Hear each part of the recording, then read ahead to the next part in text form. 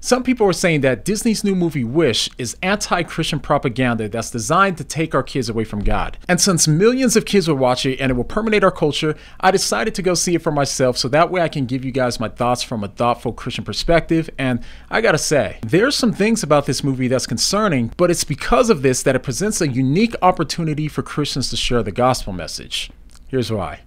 Now, as always, I won't be giving away anything that can't be found in the trailer or the synopsis, so you don't have to worry about any spoilers. So this movie takes place in the fictional kingdom of Rosas and follows a young idealist named Asha. In the kingdom of Rosas, there's a narcissistic controlling sorcerer named Magnifico, yeah, worst name ever, by the way. Who controls the wishes of all of the people who hope that he'll grant their wishes one day. But after realizing that most people's wishes won't come true because the king doesn't think that they deserve to be granted, Asha wishes on a star that magically comes down to not only help her expose the true nature of the king, but also to free people's wishes once and for all. Now, that's the basic plot of the movie. So, why do some people think that this is the most anti Christian film that Disney has ever produced? Well, the first major reason is that there were a few lines in some of the songs that really seem to poke at the Christian worldview. For instance, we're told that the reason why we look up to the stars for answers to our wishes is because we're all made of stardust and nothing else. Another line in a different song says, Isn't truth supposed to set you free?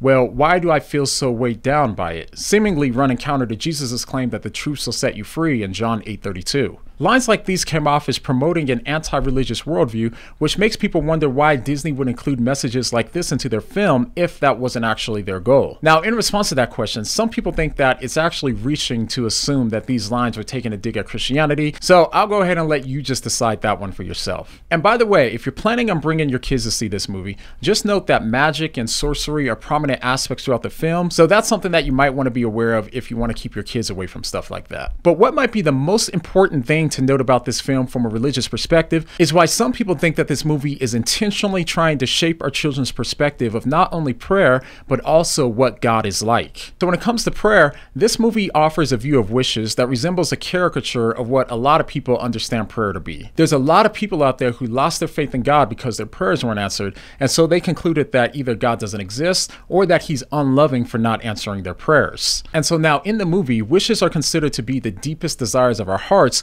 and and they're offered to an all powerful king who not only hears all of their wishes, but is also the sole person who decides to grant their wishes or not. So it kind of resembles how some people think about God in prayer. But the underlying message throughout the entire film is that if the king cares about his people, then he'll grant their deepest desires because, as the movie tells us, our desires are the most important parts of a person. So for the king to reject their wishes is taken as a sign of how much the king doesn't love or care for his people. Now, if you pair that with the popular beliefs in some Christian circles, it's not uncommon to hear that because God loves you, he wants to give you the desires of your heart. So when people find that these desires weren't met, they're understandably frustrated and skeptical that God truly loves and cares for them. Now, while I do understand how this might ring as true to a lot of us in today's culture, as we study scripture, we learn that we're living our best lives not when we get our desires granted, but when our desires align with the desires of the one who created us. This might be why the Bible says, Delight yourself in the Lord, and he will give you the desires of your heart. Commit your way to the Lord, trust also in him,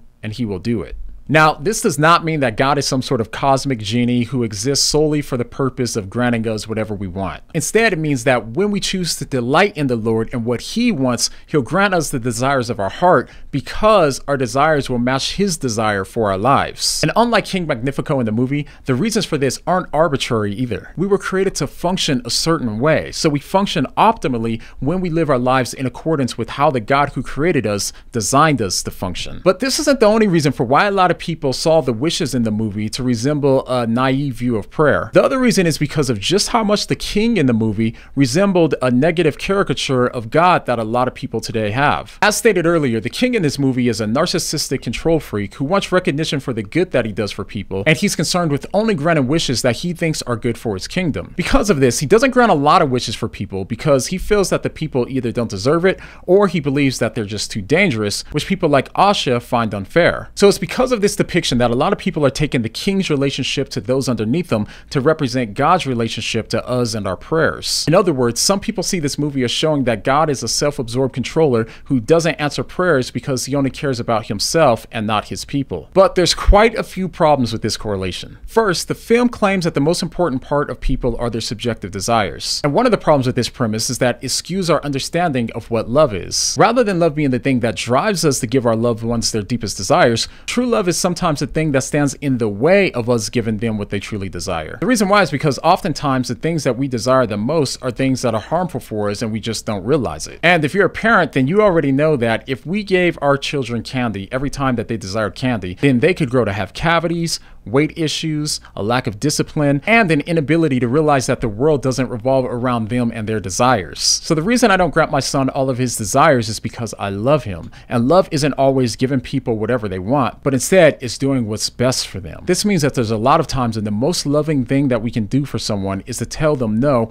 even when they can't see that it's good for them. And ironically, in an almost contradictory way, this movie actually recognizes that point because they demonstrate just how catastrophic it would be to allow the king to fulfill his deepest desires of being the sole arbiter of everyone else's wishes. So when this movie tries to paint the picture that everyone should be able to have their desires met, even Asha can see that just because someone desires something, it doesn't mean that it's necessarily good for them to have it. And in the same way, God knows what's best for us, and that might conflict with what we desire, but that's why we trust him with our prayers and try to align our will with his, unlike the characters in the movie. All right, now lastly, and most importantly, in this movie, we've seen King Magnifico claim that he's doing things for the good of the kingdom, but when push comes to shove, we see that he's really in it for himself at the expense of others. He's selfish, self absorbed, and quick to use his power to sacrifice everyone else for his sake and his personal desires. But when it comes to the God of Scripture, God put on human flesh, came into our world, put aside his power,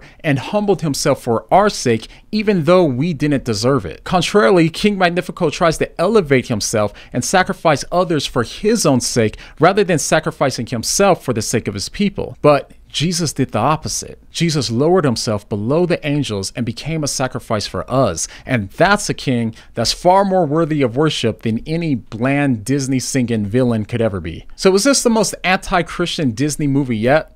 Well, to be honest, I honestly haven't seen enough of the Disney movies to know. But one thing that I do know is that even if Disney did mean this movie for evil, we can still use this popularity for good and for his glory. So while this film was mediocre in its own right, that doesn't mean that there isn't anything that Christians can't take away from this movie. With the added caveats that are mentioned in this video, if you or others do go to see this film, then you can use some of the points in this video to not only share the message of the gospel with others, but you can also look for opportunities to engage those who've seen it with an image of who the true God is. The God who loves and cares about us so much that he shed his own innocent blood for our sake and not for his own. Now, much more could be said about this movie, but I hope that this video helped to give you some perspective that you can find not only helpful, but also encouraging. Do me a favor and hit that like button on the way out because it really does help us in the algorithm. And the next time you hear someone saying that if God loves us, then he should grant all of our deepest desires, what are you gonna say? What do you mean?